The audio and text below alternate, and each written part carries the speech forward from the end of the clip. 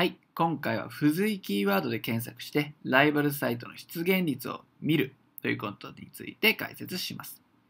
付随キーワードということですね。まあ、ランディングページであれば、ランディングページとはとか、ランディングページデザインとか、ランディングページ制作というように、ビッグキーワードの次に出てくるのが付随キーワードということです。その付随キーワードで実際に検索をしましょうというのがここの目的です。で検索をすると当然検索結果が出てくるわけです。